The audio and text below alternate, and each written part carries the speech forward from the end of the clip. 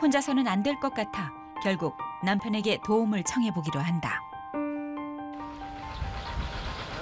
어 자기야. 엄마 안 계셔. 어디로 가셨는지 아무리 찾아도. 아유 지금 더워 죽겠는데 짜증나 죽겠네. 계속 그냥 이 집 저집 다 동네 다 돌아다 다 돌아다녀 봐도 없어. 안 계셔. 자기가 한번 집에 가 봐. 혹시 집에 오셨나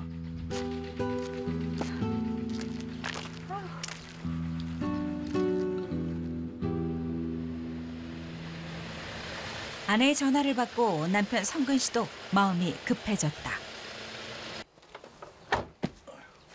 그 사이 집에 오신 건 아닐까?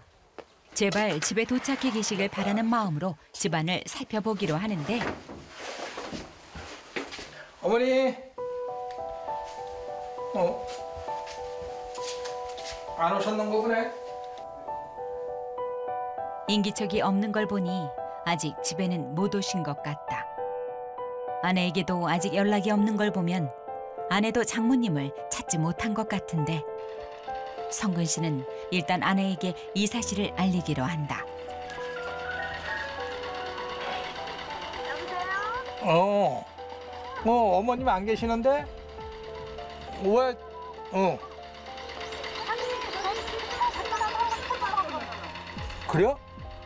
나는 여기 동네 응. 동네라도 찾아볼 테니까 길상 반대 가서 한번 찾아봐 그래 알았어. 아니 왜 들어 어디 가셨지 그럼? 걱정되는 마음에 사위의 발걸음이 다시 바빠진다.